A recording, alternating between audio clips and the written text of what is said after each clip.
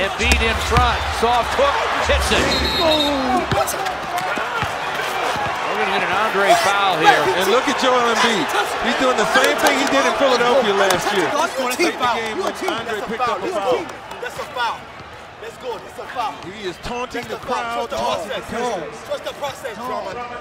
Trust the process. This man is cheating. Andre's been ejected.